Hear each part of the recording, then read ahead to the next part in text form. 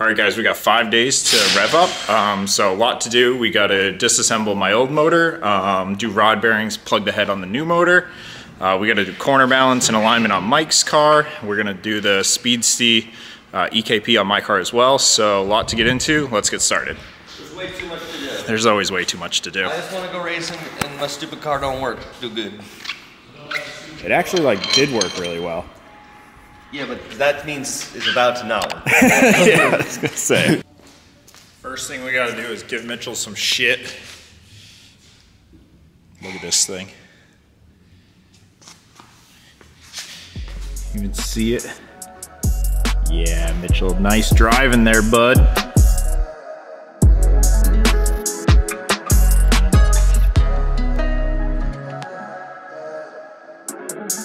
Say you got a pass, but I'm knowing life is fast. Everybody's got their path, need you to meet me where I'm at. Can't see me through these tents, up that they asking who is that. You seeing what I'm on, but you don't know me like that. Don't come in and teasing, without a plan to treat me a pleasing. I know what you needed, let's not discuss it. Quiet with all of that fussing. Nothing is good turned out to be easy, so give me the reason. We should rush it. You might wanna play with my heart and say that it's love, it's some of my Christy. It's like every N54. So only things we're saving, alternator, power steering, water pump, and thermostat. The rest is gonna just go bye-bye in the trash. Um, high pressure fuel pump we'll keep as a spare.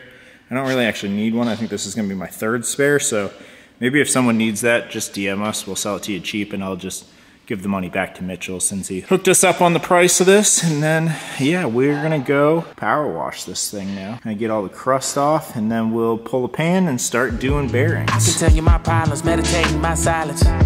But I keep pushing my pen, rotating my stylus. Brokenness feeling like sin, now no breath, low dollar. Used to be left on red, now all the girls go holler. Now all the girls go follow. All the fake fans pile up. I need peace to borrow, get that shit right. All right, since I think I just played a game of how much I could splash myself while trying to clean this, we are looking a thousand times better. So I think I might just spray her down one more time. I don't really care about the pan because I'm gonna use my own pan, but at least the majority of the crap is off, so that, that's good. And this side, just a big black hole, but looking much better, so let's keep touching it up. pain, running from strain, running from things, running from schemes. Couple things I know, couple things I show, couple things I don't. I can tell you my problems. I can tell you my So obviously rod bearings are much easier when the motor's out of the car. So, you know, we'll just pick a cylinder and start going wherever it is at first and just makes life easy. And then you just spin the crank to do it. Um, obviously never mix up the caps. These rods are broken and then that's how they, the caps uh, seal to the main part of the, the rod. Um, yeah, use a bunch of assembly lube and if you're using ARPs, use ARP lube. And we're gonna use King racing bearings, what we always use. So let's get started. Get your ARP bolts, put some lube on both the threads and where the flange is. God damn it, Kyle's ruining this. And yeah, then torque it. These ones just happen to be, I can't look at the camera and do this at the same time. These ones are 36, so torque away. All right, not the most exciting thing to see, but they're all done. So let's throw the oil pickup on, the spray shield fucking thing, whatever that does, and then oil pan. What are those? Windage trays. I would have got there eventually. Talk about windy day. Talk about windy day. How's your fitment looking? Guys, my downpipe, now that we're making real jam, was melting my body. So I had like tire smoke coming in my body, which apparently Which was actually tire smoke? It was body sealer melting. Here, I'll show you guys. Yeah. Yeah, she was getting a little crispy in there. so, I, Nice hits with the mallet. so I just smashed it, and then we added this this sweet heat shield here, so I don't get cancer. And I'm, I'm kind of debating like riveting some of this in real quick, just as well. We'll see. We'll see how it goes. We'll see how I'm feeling. How much free time we got today? Yeah. I also have some stuff I can spray in and like with, a, with an adhesive, but I don't think it'll live. No, probably not. Is that like kind of that reflective fabric stuff? Oh, yeah, yeah, yeah, yeah. Yeah, yeah. It might be worth a shot, but I don't know. This is kind of weird shape. Yeah, it's a weird crevice. Crevice. What's Kyle doing? Making a new cornhole box over there? I'm gonna see if we have a good size for it. Yeah. If not, we'll go back to the Red Bull. Kyle's Red Bull cornhole box. Red Bull blue. Everyone at the bar gives him shit during his cornhole league. Kid can play cornhole, but shows up in a ripped Red Bull box. I'm hoping we have the perfect fit. Dude, we're going. Shoot, I should have. Alright, this, this, this, This, this, this, this. You guys just fucking bullies. Maybe someone someone else causes and I make This is a hostile work environment. Dude, I need some little ARPs to hold this thing on. All right, for the windage and pickup, we're using steel bolts because aluminum bolts are trash. And same with the oil pan, we replace all the aluminum ones with steel so that we can keep reusing them. Keep re- re- reusing them, reusing them because, well, I've built like a hundred motors now. I feel like so I'm sick of buying eighty dollar hardware. It's a waste. We're gonna sell it. We're gonna have a new baffle pan kit coming out soon, but yeah, peep that on the store soon. Yeah, I mean, really only cylinder two was the only place you could see copper or metal. The rest were not great, but not terrible. So, always a good thing to do. I mean, king rod bearings, it's like 150 bucks. Buy ARP bolts once. Good for a few installs.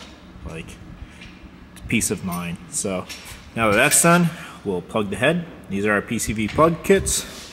Um, this has been done basically a billion times before, but kind of go over it real quick. I can, didn't want to stick it to that. Okay. This light sucks. I'm just gonna hold it. All right, so time to plug the PCVs. So you can see these little holes on each cylinder. And what that does is allows crankcase, crankcase pressure to be sucked into the intake ports, and that's why these look like trash. So these ones actually aren't bad. I'm gonna walnut blast them before going in the car, but when you're on a external PCV catch can setup, you just plug all those holes so that way all of the crankcase pressure goes out into your catch cans. Also, so Earth to the world. Earth to the world. Stop using like high side, low side catch cans. Just use a normal catch can, people. But it's a, a good scam gimmick. Dude, uh, talk about the high sides, low sides. Just, just spent the freaking crankcases. God. But Mike, it's magic, okay? One says high and one says low. This is a special motor that is different than every other motor and needs a special cat. No, it's not. it's, it's not. See what happens there is air comes out of the, cr- the crankcase there and goes into the valve cover and then it goes so sometimes the air says I want to go to the high side and some says I want to go to the low side. So you got to buy two catch cans. No, just plumb both of those to an external catch can. Bend it to atmosphere. Yeah, don't- You don't need to recircuit anywhere. Just Literally a waste of time. I'm talking to you, David. I'm talking to you, David. I know you're Whoa. gonna watch this now. Calling you out. calling him out. Poor David. Poor David. But uh, yeah, you, you really don't need them. Just one. It all goes to the same place. Get it out of there. Get it out of there. So, all right. In the motor, kind of sketchy because you do have to tap these holes. And it comes with a little tap.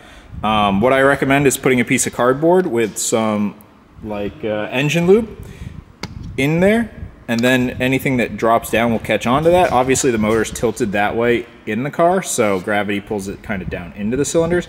I'm gonna tilt it this way so that all the junk's gonna fall out, but we're still gonna put a little protection in there. Always use protection. Get the lube out, catch all the stuff coming out of the hole. Just All right, That was bad. Cut test working.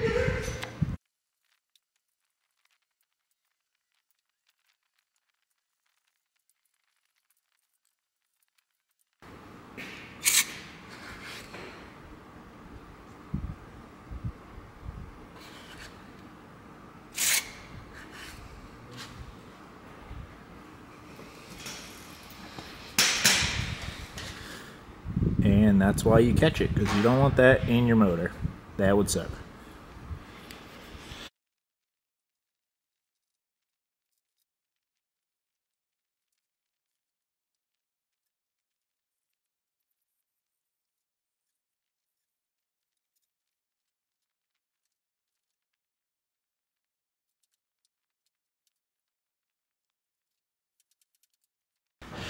All right, guys, we're waiting for injector uh, seals for my motor, so we're gonna jump over and do the EKP delete. I'm gonna jump off the roof and hold this above my head and I'm gonna fly. Like in Fortnite, right? Yeah. Dropping in with the boys.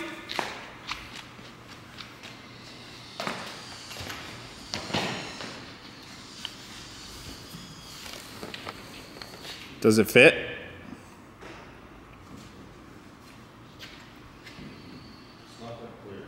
Pretty freaking sweet, I think. Pretty sweet, I think.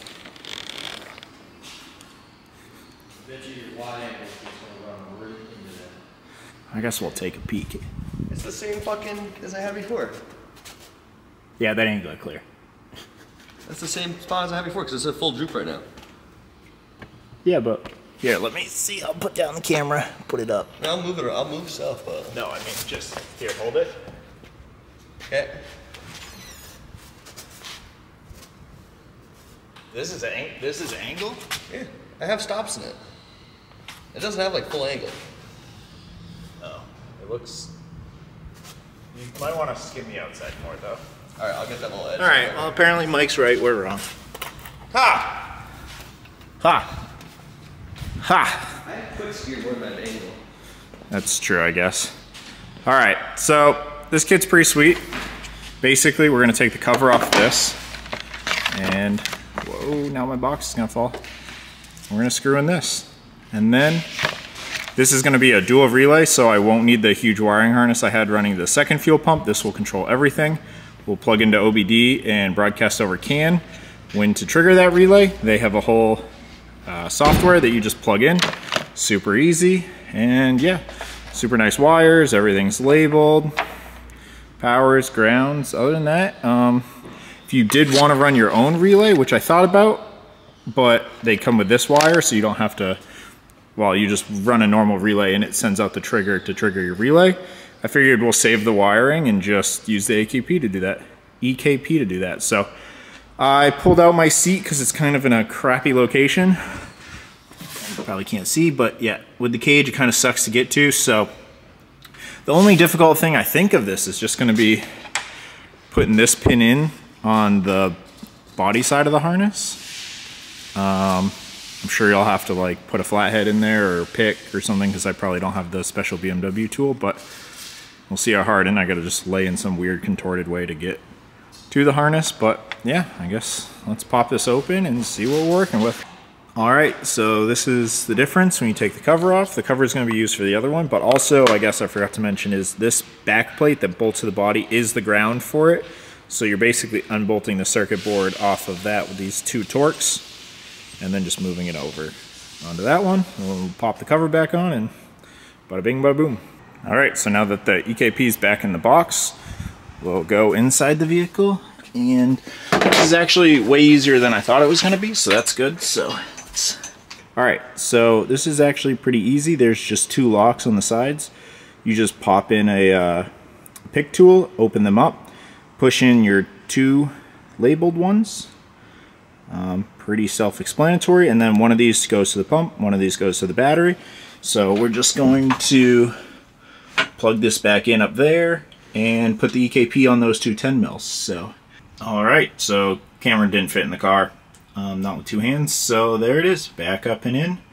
Easy as that. This is really simple. All right, guys, we're gonna call it a video there. Not much to test on an EKP when you don't have an engine in the car, but Boost Lab did just send back the turbo, so we got that. So tomorrow we'll be able to throw the turbo on the motor, hopefully get the motor in the car, trans in the car, button that up, be able to turn it on, make sure everything's sweet. The goal for this week is to rifle out a bunch of videos, just getting everything prepped for Gridlife. So please subscribe, guys. Stay tuned for more content. Like 80% of you guys aren't subscribed. We feel like we're pretty okay at YouTube. Pretty okay. So you guys should subscribe. Um, stay tuned. We got a bunch of shit to do this weekend before Rev Up. And until next time, peace.